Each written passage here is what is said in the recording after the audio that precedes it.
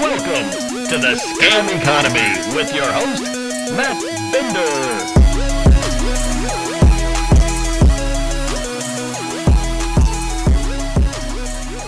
Crypto is having another big moment, and that moment is Russia's war in Ukraine. For weeks now, you've probably seen the headlines about how much money Ukraine has raised in crypto. And you might think to yourself, wow, that's amazing how much money they've been able to raise. And that right there is exactly what the crypto grifters are paying for. Welcome to Scam Economy. I am your host, Matt Binder. And on today's episode, we are going to dive deep into exactly what's going on in Ukraine with all this crypto charity that's coming in.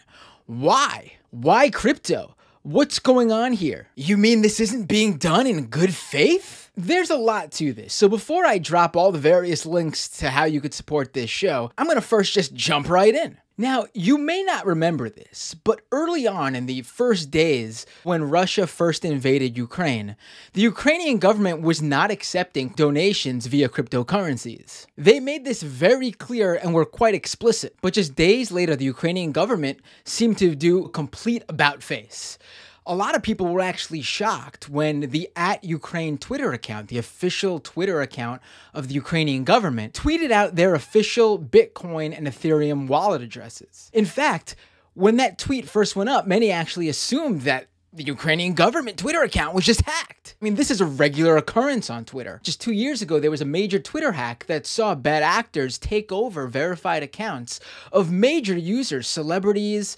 uh, presidential candidates, in order to push crypto wallet addresses. But no, the tweet was legit. The wallet addresses actually belonged to the Ukrainian government. So, what happened here? Ukraine was basically forced to accept crypto. They clearly saw the money on the table. Mm, uh, crypto on the screen. Crypto that could have easily been transferred into fiat currencies and then sent to Ukraine. But they knew that wasn't going to happen because, after all, what would crypto entrepreneurs and investors get out of it then? And that right there is sort of the explanation of it all wrapped up in a nutshell. TLDR, right? What's charity and humanitarian relief to most is actually just a big marketing scheme and PR campaign for crypto hustlers. Now, it's important to understand why the crypto grift is descending on Ukraine specifically. And we'll get to that a little bit later on. But first, I want to be very explicit here. The issue is not with Ukraine. You know, the country's being invaded by Russia and they're looking for various different ways to finance this war. In fact, extracting these funds from crypto entrepreneurs is probably the best thing their digital riches have ever been used for you know, let them do their thing. But there's something just gross about these wealthy crypto entrepreneurs fully taking advantage of this situation, again, a war, in order to pump their cryptocurrencies of choice and generate good press. But, you know, it's fully in line with the scam economy. Now, Ukraine's digital friendly politicians have really been hyping up just how much they've been able to raise via crypto. And I mean, of course, they got to keep those donations flowing, right? You got to play the game. But crypto advocates have been pushing this falsehood that Ukraine has been completely cut off from their banking system and fiat currency. Now, that's just not true. You can go ahead and donate via your credit card, your debit card, wire transfer, whatever you'd like to Ukraine right now. On top of that, a number of NGOs that have been focused on relief in Ukraine have been accepting fiat currency via credit card or wire transfer this entire time. I mean, I'll wait a second. You can go ahead and donate good old US dollars right now. So, just how much money has been raised in crypto for Ukraine?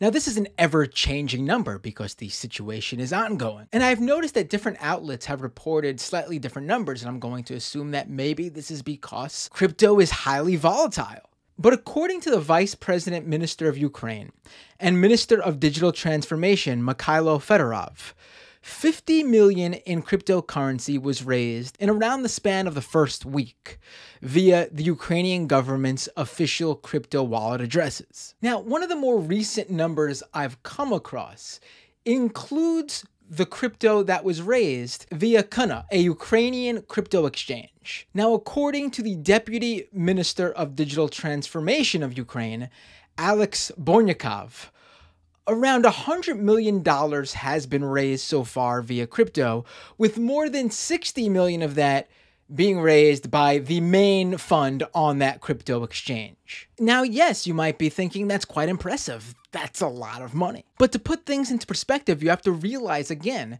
not to listen to the cryptocurrency entrepreneur narrative that this is the best and really the only way to get money to Ukraine. Along with that 100 million combined in crypto, more than 300 million dollars has been donated via fiat currencies, i.e., real money, to Ukraine. On top of that, in one week, the Ukrainian government also raised $277 million itself via a war bond, and that funding mostly came from within the country. And then, of course, there's the government aid. US Congress recently approved of $13.6 billion in aid for Ukraine. And just Wednesday, as I'm recording this, after Ukrainian President Zelensky spoke in front of Congress, they pledged to approve a further $800 million. And then there's another 600 million coming from the EU. And the US Agency for International Development is providing nearly 54 million in additional humanitarian assistance as well. And you can guarantee there's a lot more aid to come. And that's not even counting the military equipment countries have pledged to send Ukraine. But let's get back to the crypto. With nine figures worth of cryptocurrency sitting in the Ukrainian government's crypto wallets, what exactly is it being spent on? According to the Ukrainian government, in week one of the war, the country spent $15 million of the donations it received in cryptocurrencies on military supplies such as bulletproof vests and night vision goggles. So far, they say they have not used any of the crypto donations on lethal military gear. This has all been non lethal military supply purchases. Now, the question here is are they actually paying in crypto? And the answer is uh, some. They've found some suppliers willing to take crypto, but not most. According to Ukraine, 60% of their military suppliers uh, are not accepting crypto, which means that they then have to take those cryptocurrencies and exchange it for US dollars or euros. Now, what cryptocurrencies have been sent to Ukraine? Uh, the vast majority of the crypto donated to Ukraine are Bitcoin and Ether on the Ethereum network. But they have also received donations in the stablecoin Tether, Polkadot, Tron, Dogecoin, and Solana. And the story about how they came to accept a bunch of those different cryptocurrencies, some of which you listeners and viewers may not have ever even heard of, is quite interesting. And I'll get to that in just a moment. But on top of the cryptocurrencies, Ukraine has also received hundreds of NFTs, according to Deputy Minister of Digital Transformation Bornyakov. In an interview with Bloomberg, Bornyakov said, Yes, someone donated us a CryptoPunk, but it's so hard to sell. We haven't used it at this point. We are going to keep it for now. We are going to work with NFTs a little bit later. We are focused on things we can deal with right now. There's no time to figure out how to convert them. Maybe once things settle down, we'll figure this out. Now, this is where the like depravity of this entire situation comes in. Why are people sending NFTs to Ukraine? Now, the, the whole point you hear from these crypto advocates is that cryptocurrency is the fastest way to get money from point A to point B. I mean, especially now when they're here saying that, hey, in a time of war, it would take days for your fiat currency to actually land in someone's bank account. But with crypto, you can get your funds to someone in seconds. Why send someone an NFT? For people who don't know, I'm going to explain. I- have explained it on every show, but if you're tuning in for the first time, NFTs are non fungible tokens. Basically, strings of characters that sit on a blockchain as a token that act as a digital receipt to basically prove ownership over a piece of media, a uh, JPEG, a movie file, uh, some sort of artwork online, whatever. That's all it is. It is an ownership over a receipt. The person does not actually own the artwork, whatever it is, that the receipt links to on the blockchain. but it's a speculative asset nonetheless, and people buy and sell these NFTs, and some of them go for quite a lot of money. Uh, there's a real bubble here, and what better example than the value of this 8 bit digital artwork known as a CryptoPunk that was sent to Ukraine? $200,000. But that's if they find a buyer when they can take the time to sell it on an NFT marketplace. And this is where the discrepancy in the real amount that's been raised via crypto comes in. Are, are, are, the NFT values being factored into the equation? Are they calculating the value of the crypto when it's donated to them? When they sell it? Honestly, it's very unclear to me. But what I will say is that it's still a very large sum of money. And one of the things that Ukraine is smartly doing is that they are pretty much spending the crypto as quickly as it comes in. Because again, cryptocurrency ebbs and flows. $100 in a cryptocurrency could be $100 today, could be $150 tomorrow, it could be $50 tomorrow. At least if you cash out right away, you're guaranteed to get exactly whatever it's worth at that very moment. In fact, this is sort of pissed off a number of crypto advocates if you look online, because a lot of them are strong believers in HODL, basically holding on to their crypto and never selling so the value continues to appreciate according to their hopes and dreams. But one thing they view as not good is that if the Ukrainian government is raising all this money in Bitcoin and Ether, and then they're selling it off in massive amounts of quantities in a short period of time, it's going to tank the value of their precious cryptocurrency. Again, they're thinking of numero uno, number one right now, and that's them and their wallets. To the moon, right? Now, everything I've spoken about so far has been regarding donations to Ukraine's official cryptocurrency wallets. They are obviously the main place where everyone has been donating. There's a few other ones out there, but another one here I want to talk about is Comeback Alive, an NGO that directs its support to the Ukrainian military. You might have heard of them when early on in the Russian invasion of Ukraine, they were kicked off of Patreon for breaking Patreon's policies in terms of what you can raise funds for. Believe it or not, Patreon does not want you raising funds for another country's military. Comeback Alive is probably the second biggest charity when it comes to crypto donations, again, second to the Ukrainian government. And crypto advocates like to promote how, look, they were kicked off of Patreon and they needed a way to raise funds. And crypto was there for them. That's all they were able to do raise money via crypto. And that's just not true once again. They've always had a link on their website where you can directly fund them via fiat currency from your credit card, your debit card, whatever. But one interesting thing I noticed when researching Comeback Alive's cryptocurrency wallets is just how much they've been spending. Now, like I said, the Ukrainian government's been pretty smart.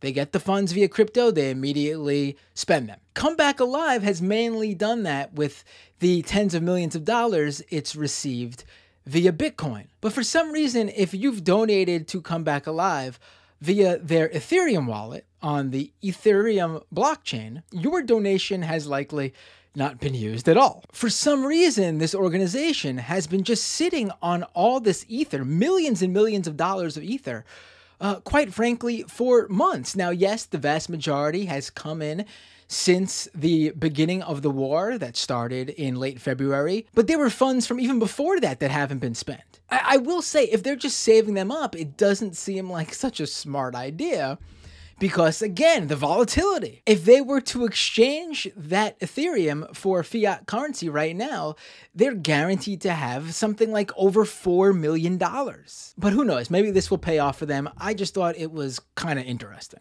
Now let's get to the crypto pushers who are using a war to pump their coin on the backs of a country fighting for its survival. If you recall just a little bit ago, I mentioned all the different cryptocurrencies that the Ukrainian government was accepting. How did we go from no, we're not accepting crypto to okay, here's our Bitcoin and Ethereum wallets to here's our wallets for pretty much anything. The Bitcoin and Ethereum one makes sense.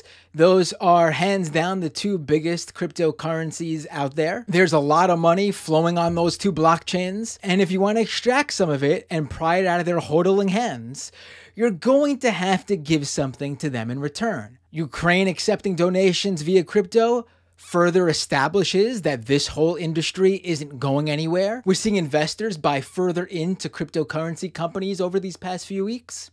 And the good PR helps tell the general public that, you know, this crypto stuff is good. It's helping Ukraine, right?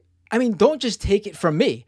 Ethereum co founder Joe Lubin basically said this very thing in an interview over the past couple of days. According to the Ethereum co founder, the ongoing war between Russia and Ukraine was another moment for our industry. It represents crossing the chasm into mainstream adoption. Now we're on to national security issues. It's going to be so profound, a point of no return for our industry, because it's clear that our technology is very powerful and unstoppable. And it, it just gets more ridiculous from there. Because those alternative cryptocurrencies were basically adopted by the Ukrainian government because their founders basically dangled a carrot in front of Ukraine. They basically begged the Ukrainian government publicly in the country's Twitter replies as it's trying to fundraise for donations to fund the literal war they are currently undergoing, thanks to Russia's invasion, they're literally in Ukraine's Twitter comments saying, You accept my crypto?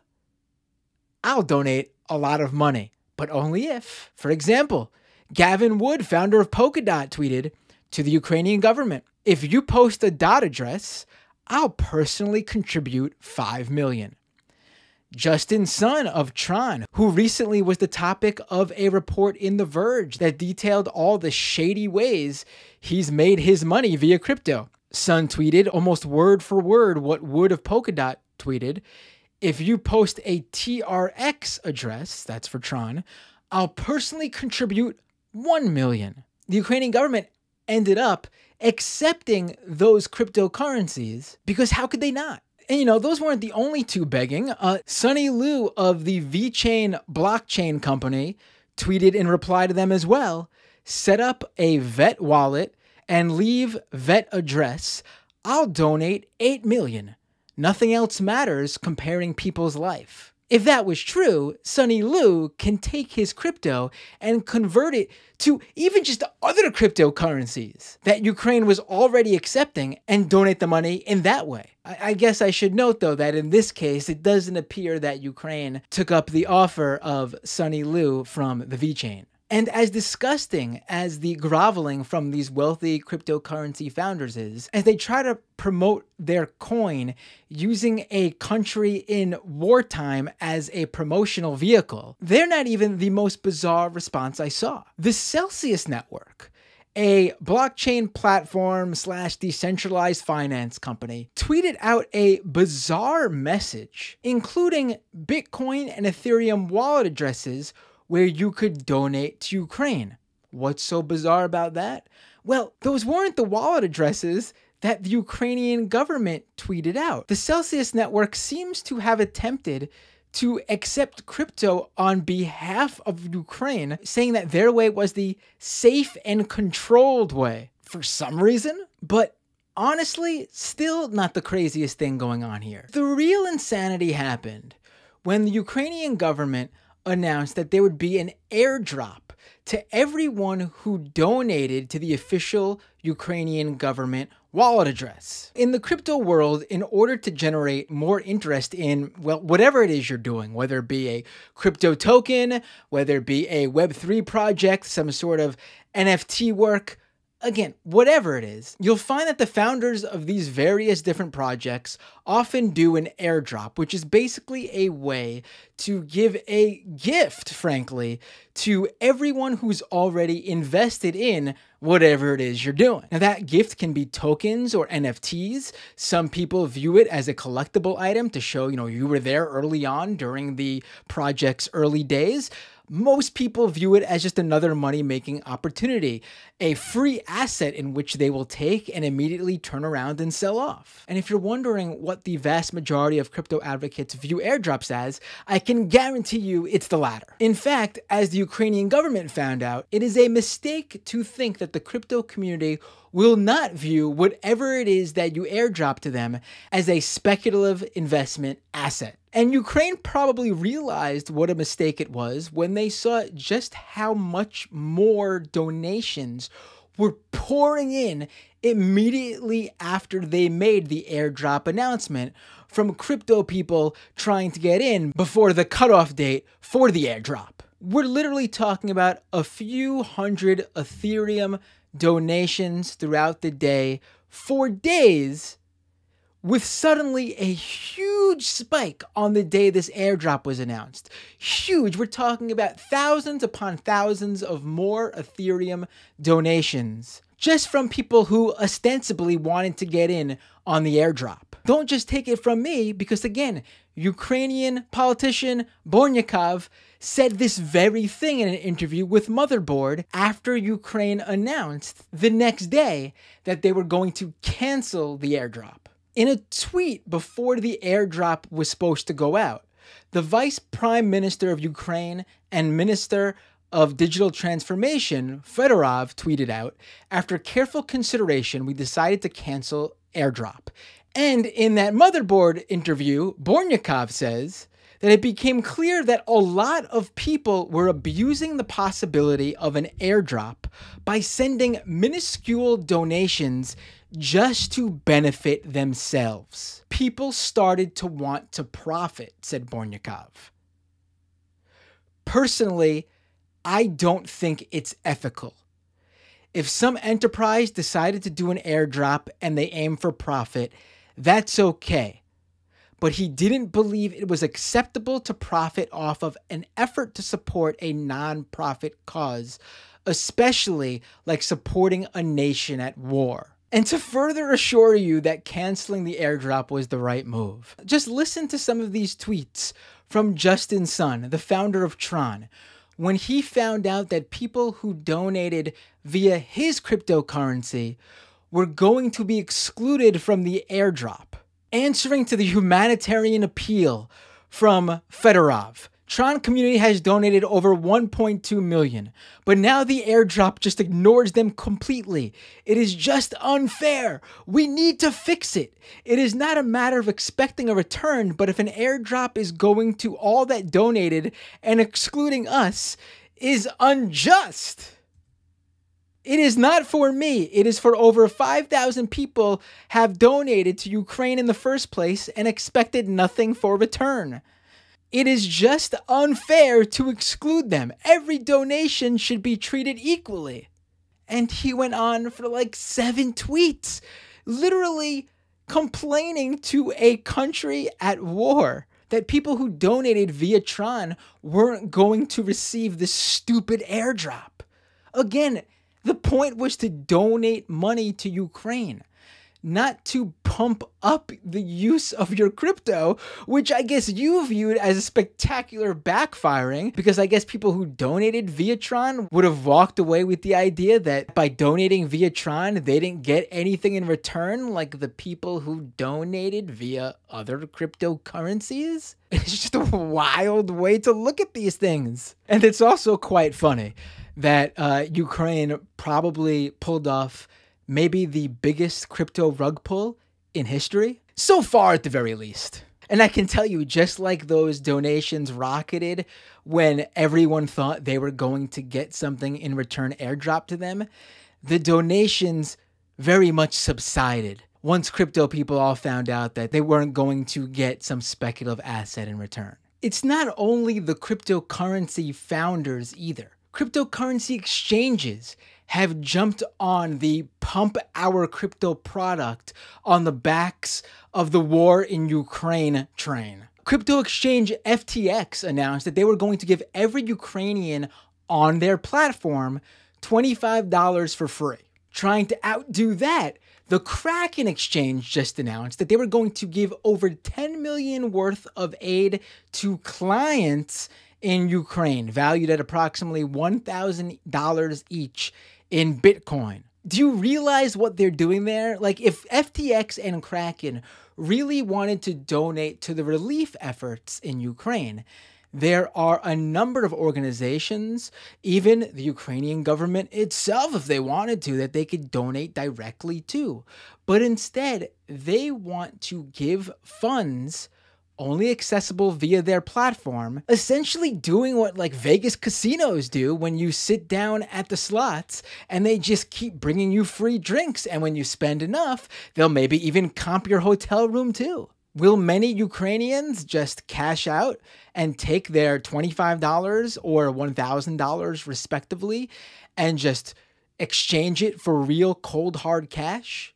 Or will at least some take that money and gamble it away in hopes of making at least a little bit more on FTX and Kraken. I can assure you that both of those exchanges are betting on just enough to do the latter. And on top of that, Kraken also announced that the funding for that $10 million worth of aid to their Ukrainian clients is going to come partly from their revenues on Russia based trading. I guess to make themselves feel a little bit better off of still profiting via what can be considered as blood money. In addition to the established currencies and exchanges, there have also been a number of crypto projects that have been set up over the past few weeks, specifically to raise crypto for Ukraine. There's honestly been so much, there's no way I can fit them all into one episode.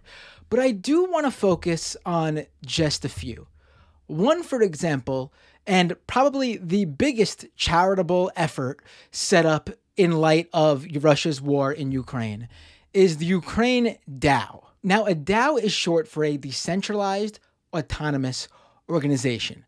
The way DAOs are supposed to work are that people buy into a DAO's token in order to receive a vote on whatever it is a DAO is for. Crypto people like to promote it as like democracy in its purest form. Although the problem is that usually your votes correlate with just how much crypto you invest. Meaning that if you got more to invest, you have an outsized influence on whatever the DAO is voting for. But with all that being said, the Ukraine DAO did end up raising $6.75 million in cryptocurrency. They did this by pooling contributors' money together in order to buy an NFT of the Ukrainian flag. This effort was put together by Alona Shevchenko, who is Ukrainian in England, and the Russian punk collective Pussy Riot. Now, to be fair, I dug into this and looking at what Shevchenko and Pussy Riot put together, it does seem like they did this with the best intentions, a true rarity in the crypto space. They were transparent as to where the money went after they distributed it, and they did distribute all $6.75 million to a number of organizations, primarily the Ukrainian government, and Come Back Alive. But then they unintentionally made what I'm sure they view now as a mistake. They did what the Ukrainian government went out of their way to avoid and that is an airdrop. And seeing what happened with Ukraine DAO's airdrop, we can really get an understanding of just what a disaster the Ukrainian government avoided with their much bigger fundraising effort. After the fundraising drive via the purchase of this NFT, the Ukraine DAO then set up an airdrop for a love token, which they said was supposed to be a commemorative sort of gift for everyone who donated. But see, that's a big mistake like I said earlier, that's not what a token is. Cryptocurrency is not a piece of memorabilia. It's not the equivalent of giving a PBS tote bag to everyone that donated. Tokens are a financial asset, period. And by giving them out as part of a benefit, you're essentially defiling the very essence of charity. And even though Shevchenko went out of her way to beg cryptocurrency exchanges not to list the love token, they still did anyway. And once the love tokens were dispersed, people started to sell them on the exchanges for profit. Because again, that's what cryptocurrency is. 99% of the space is people looking to get rich quick and fill their money bags. And another point to make here is even though the charitable effort that Ukraine DAO put together was a success, it's not proof that DAOs can be successful because the Ukraine DAO wasn't really a DAO.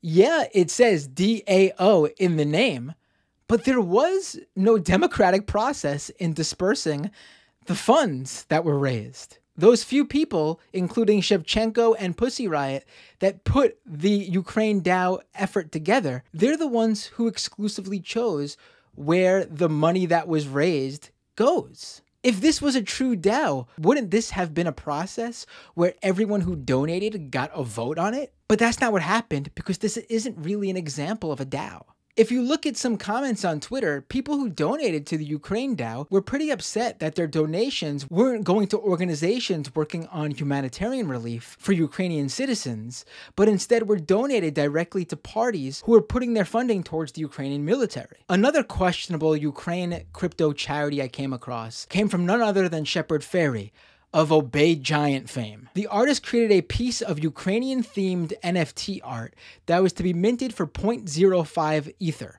That's approximately $140 today. Now, here's the good 100% of the proceeds were to go to Ukraine. But here's where it gets kind of weird. Those proceeds, while going to Ukraine, would first go through the Ukraine DAO and another separate Ukraine charity group focused on NFTs called Relief, where the E is actually a 3, you know, for Web3. Very clever. Now, Relief was put together by someone who helped former presidential candidate Andrew Yang form his Web3 project, Lobby 3. Now, not to go completely off on a tangent here, and I'm sure I'll do an episode on Lobby 3 specifically in the future, but Lobby 3 is Yang's Web3 project, which he claims will help eradicate poverty. But the website just lists ways where you can become a member by donating anywhere from 200 to $100,000 in Ether. Yeah, it's weird, but also what you would expect in this space, I guess. But anyway, back to the Obey Giant NFT project. For some reason, instead of donating directly to the Ukrainian government or Come Back Alive or any of the other NGOs, the proceeds from Shepard Fairey's NFT project for Ukraine goes through Ukraine DAO and Relief who both just then take that funding and then disperse it to the Ukrainian government and come back alive and those various NGOs accepting crypto themselves. I, I, I don't quite get what the point is other than, yeah, another way to sort of just pump up these other crypto projects. By just going through these extra steps, they're also giving less money to the actual organizations that are going to use them because every time there's a transaction on these blockchains, you're getting hit with fee after fee. But yeah, yeah, yeah, 100% of the sales goes directly to these organizations. So it sounds good until you dig further and find out a little bit more.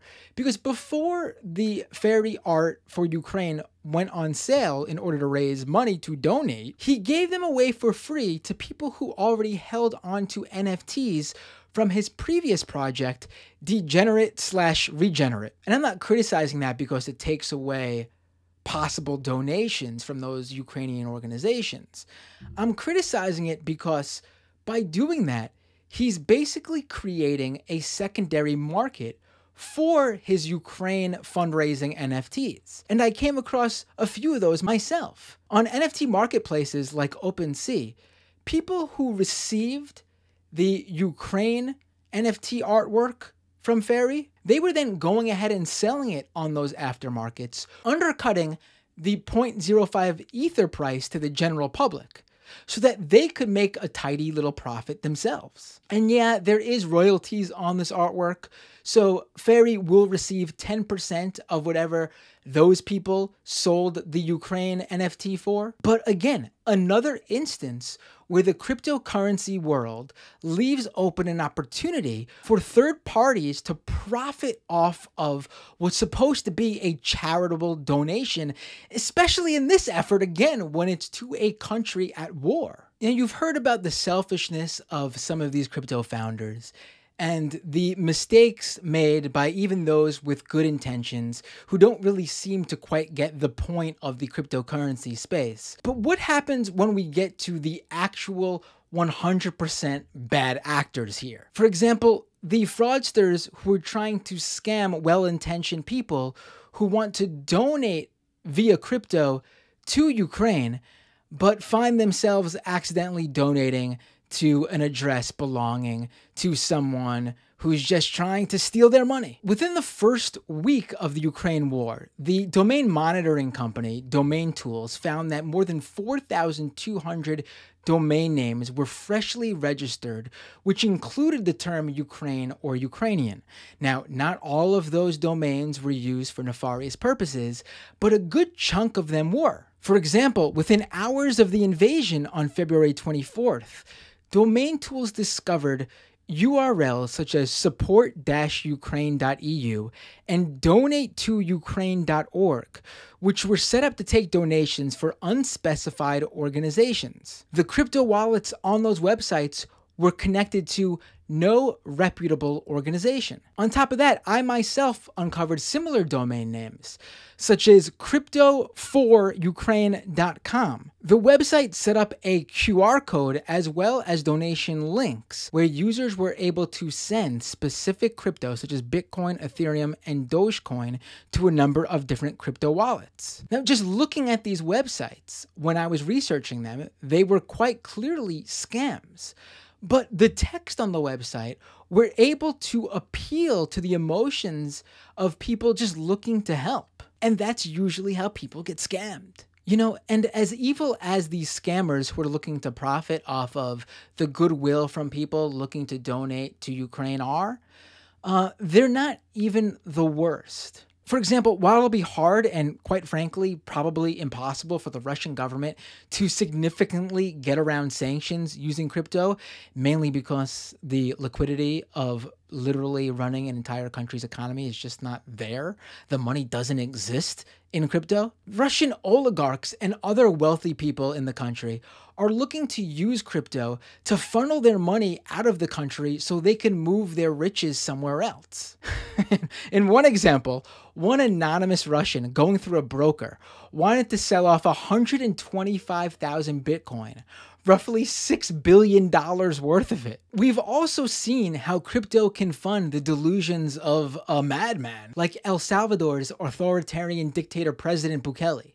Also, there are bad actors within Ukraine who are using cryptocurrency to fund their operations as well. By now, you've probably heard of the Azov Battalion the neo Nazi paramilitary group that has officially become embedded as a unit in the National Guard of Ukraine. Yeah, these are the guys where Putin's bullshit justification of the war, the denazification of Ukraine, comes from. According to the cybersecurity firm Flashpoint, the Azov battalion has already raised thousands and thousands of dollars directly with their own crypto wallets. And you know, this is just the beginning for them too, you know. A report from the Southern Poverty Law Center in December found that white supremacist figures have raised millions and millions of dollars via cryptocurrency. And sure, you can argue that whether it's from crypto or even funding from the United States, some of that funding is going to end up funneled to bad actors in Ukraine regardless. Again, I just said the Azov battalion is actually embedded as official part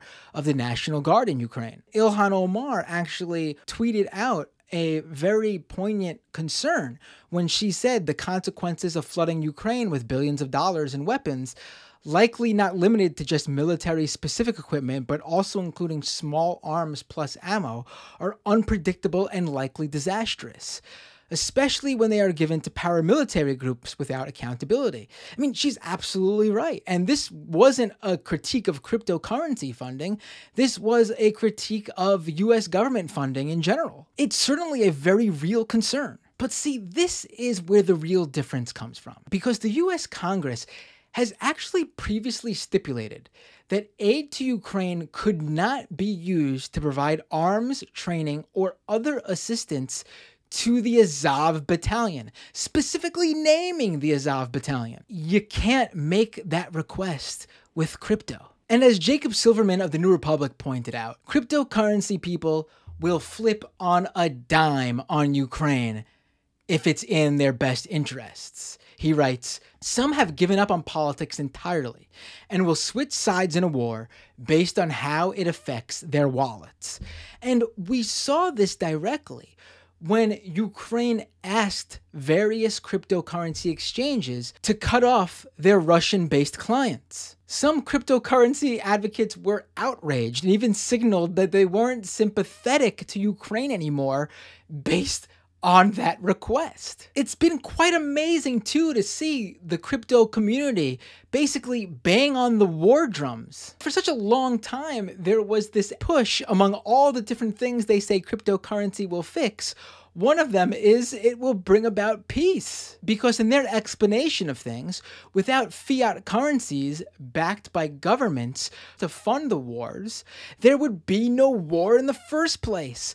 Here we are, ironically, in 2022, seeing this big crypto moment. And what is it? Cryptocurrency being used to directly fund war. Once again, everything they argue crypto can do is not only untrue, but the opposite of what they say is true. And then, of course, there's the environmental issues.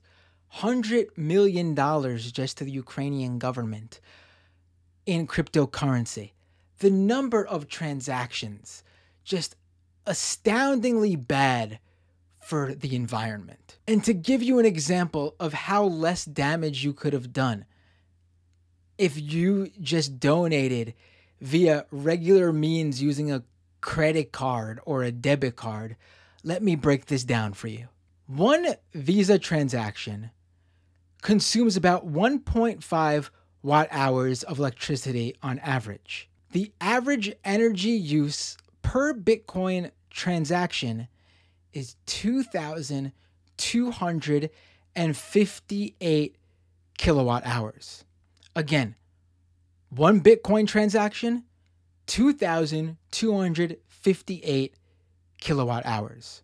100,000 Visa transactions, 148 kilowatt hours. A single Bitcoin transaction requires roughly 1.5 million times the same amount of electrical energy. And if you're wondering just what that amount, that 2,000 258 kilowatt hours could be used besides a single Bitcoin transaction, that amount of energy could be used to power a single US household for two and a half months. What, what, are, what are we doing here? How is it that as a global society, as we've become more aware and attuned to the very serious issues ahead, thanks to climate change, we've decided to dive right in to a technology that's making everything astoundingly worse. Now, we know that the cryptocurrency people are just going to brush aside all those different concerns. Uh, and they're going to try to replicate this, what we're seeing in Ukraine, uh, elsewhere, I'm sure regardless of what ends up happening with the war, how long, how much longer it goes on for, they're certainly already setting their sights on the next place. I mean, we already see what's going on in El Salvador, and I will do episodes entirely on that in the very near future. We're already seeing what's going on in Puerto Rico, and I'll be doing episodes on that in the near future. In both places, the locals have tried to fight back massive protests in El Salvador, activists in Puerto Rico comparing crypto people who've moved in there to colonizers. Just like they're seeing in Puerto Rico and El Salvador, they're not going to find anywhere quite like Ukraine. And let me take a little bit of time to go into the background of Ukraine and its long connection to cryptocurrency. Because this really could have only happened in Ukraine.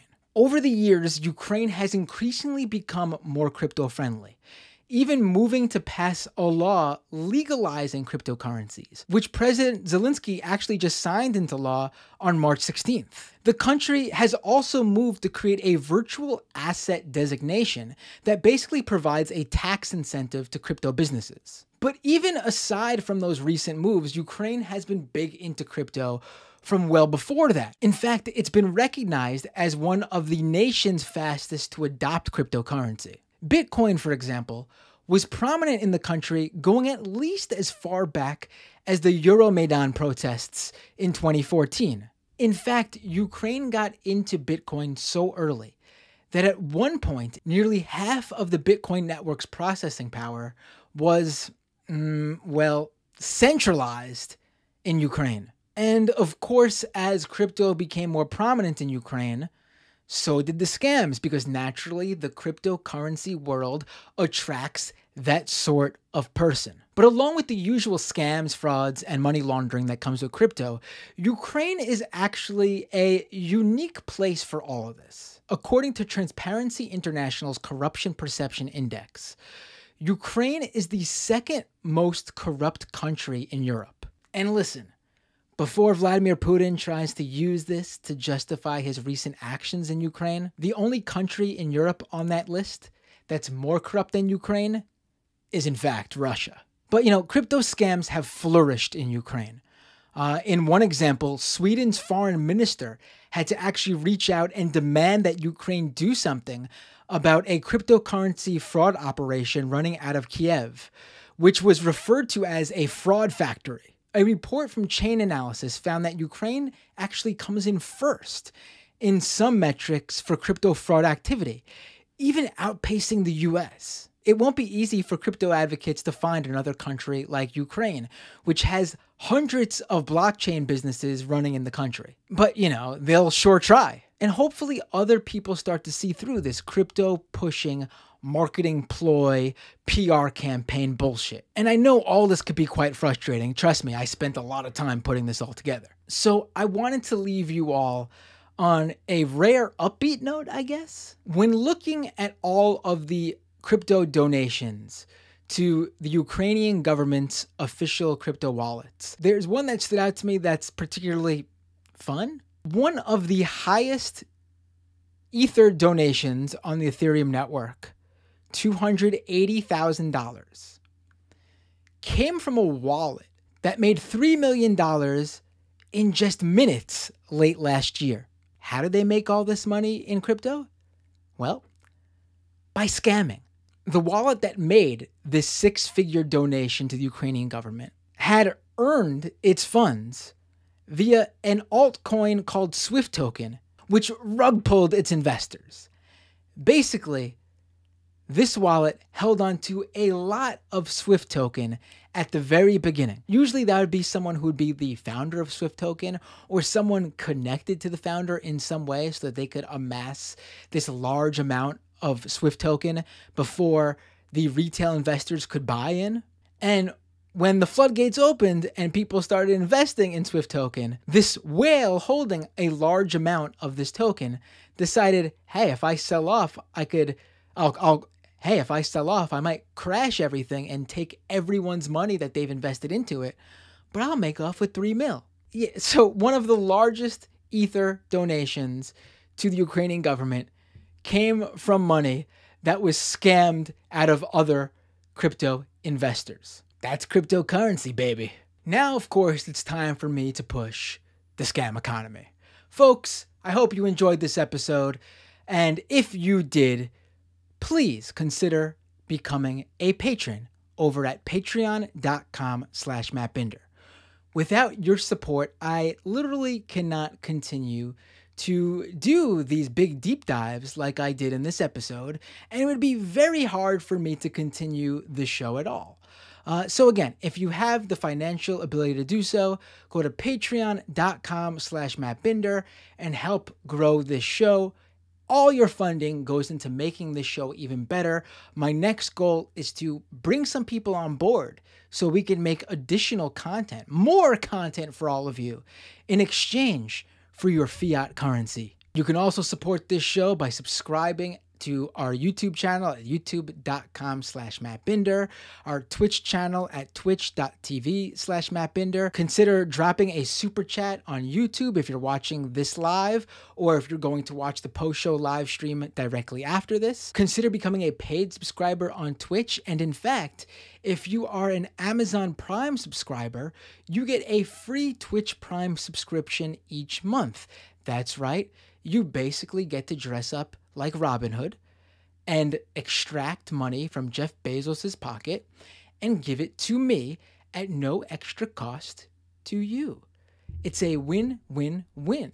Again, just go to twitch.tv slash mattbinder and subscribe to the channel via your monthly free Twitch Prime subscription. You could also follow me on Twitter at Matt Binder. Also, you can now follow this show on Twitter too at Scam Economy.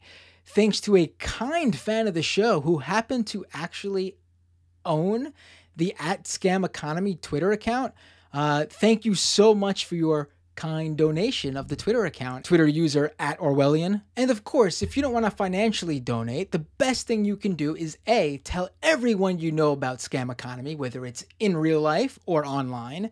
And then B, go to Apple Podcasts, go to Spotify, and please, please, if you can, leave a review. It has been so important to the growth of this show, I can directly see a correlation between where we are on the charts, which is based on those reviews and how many downloads and new subscribers we get each week. Uh, you can go to scameconomy.com as well for all the links to everywhere you can listen to this show, whether it be the video version or the audio one. Oh, also check out my political show, Doomed, at doomedcast.com as well. And with all that being said, I hope you'll all join me for the post show if you're watching live. And if you're not watching live, you can catch the audio version of the post show on Patreon for patrons. Again, I take call ins, discuss whatever you'd like to discuss in the comments, your questions. It's a good time. And to everyone not joining me for the post show, be sure to tune in for the next episode, which will be the next time I see you in the scam economy.